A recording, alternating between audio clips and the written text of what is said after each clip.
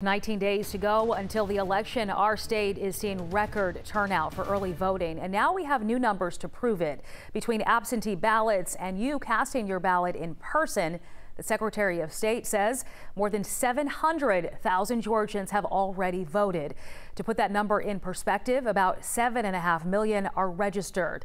Because of the overwhelming turnout, the state is now checking in with counties to get them more voting machines. And just minutes ago, one Metro Atlanta County announced changes to help you cast your vote quickly. Mara Siriani live in Douglas County with the details.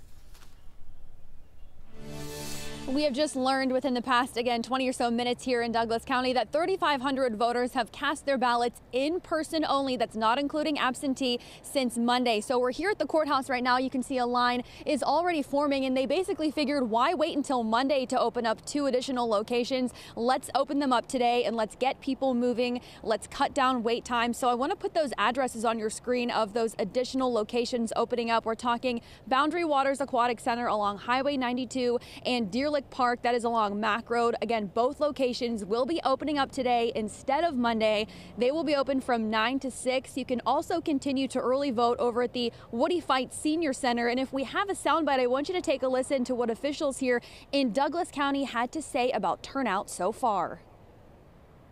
Uh, just like people all over the state, uh, was an extraordinary amount of people that came. Uh, the volume came, you know, so um, you know, we're expecting uh, a lot of people use absentee ballots, right, to vote and mail in. Uh, a lot of people decided to vote in person, and when they showed up, you know, we responded.